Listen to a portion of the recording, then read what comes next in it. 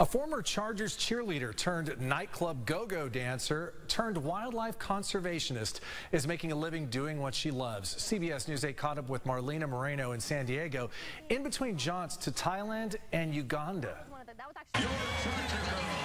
It's been five years since Marlina Moreno worked as a Chargers cheerleader. I look back, it doesn't even feel real that I did that. It kind of seems like a dream or a really long time ago. At the age of 25, Marlina moved from the football field to performing on a stage as a nightclub go-go dancer. When I tell people I dance, people automatically, the first thing they want to say is they, they assume you're, you're stripping.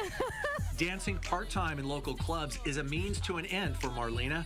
Her real ambition is wildlife conservation. You know, I'm a weird girl who watches like wildlife documentaries and animal videos and all that, and then I, you know, throw on my fake eyelashes and go to work. Marlina also launched a marketing company, Pink Monkey Media. She travels around the world making videos promoting conservation and volunteerism. It felt right, this idea of marrying like media with uh, wildlife conservation. It just, I can't explain it. I think it's like when you find your passion, you find your passion, right? On a recent excursion to Uganda, Marlina got up close and personal with gorillas. She hiked in remote areas of the country, videotaping rhinos and other wildlife to help promote ecotourism. When I got to work with those rescued chimps and hear their story and hear what the Uganda Wildlife Education Center is doing, it just absolutely like, like set my heart on fire.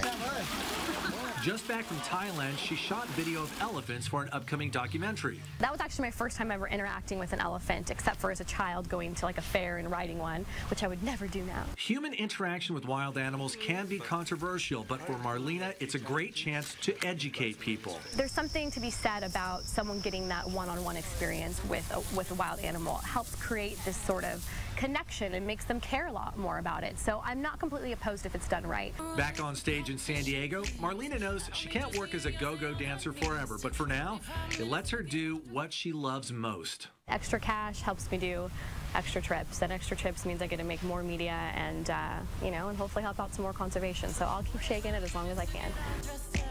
Uh, Marlene